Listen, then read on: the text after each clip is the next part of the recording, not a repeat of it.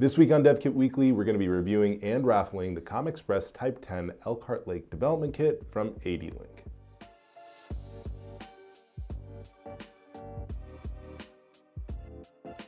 In a world where cost, time to market, and reliability are valued above all else, Computer-on-module architectures fit right in at the edge. For automation, robotics, and other rugged application areas that prefer trusted technologies, solutions based on PICMG's extremely popular COM Express specification family, like ADLINK's ComExpress Type 10 Elkhart Lake Development Kit, are the perfect place to start. This starter kit comes loaded with all kinds of goodies, including a Nano X EL COM Express Mini size Type 10 module and a miniBASE 10R carrier board, both of which are COM Express R3.0 compliant, as well as a heat spreader and a 110 220 volt to 19 volt adapter. The nanoX-EL module from ADLINK is powered by a 6th generation Intel Atom X211E dual-core SoC with 4 gigabytes of LPDDR4 memory with in-band error correction. Plenty of edge applications these days require image processing functionality, the onboard Atom integrates Intel UHD graphics alongside video encode and decode blocks,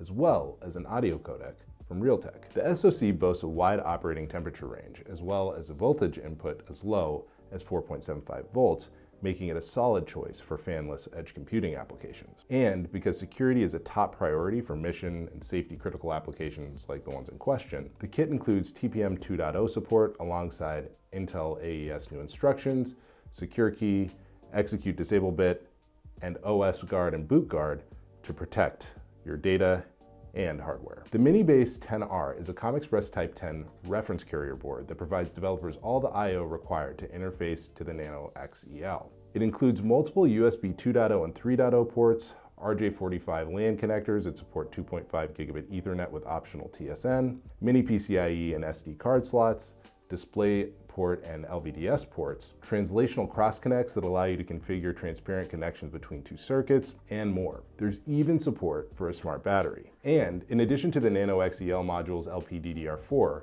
the carrier board features an additional 64 gigabytes of eMMC. To turbocharge your application development, especially if you're working on Edge Vision systems, the starter kit is compatible with the Intel distribution of OpenVINO toolkit. If your industrial IoT devices are incorporating machine learning, for example, as many are in the age of smart manufacturing, OpenVINO's pre-trained deep learning models and the companion Open Model Zoo API can speed up development time. The latest version of the toolkit features improved visual inferencing performance and optimizations in load balancing, dynamic inferencing parallelism across CPUs and GPUs, automatic device discovery, and more.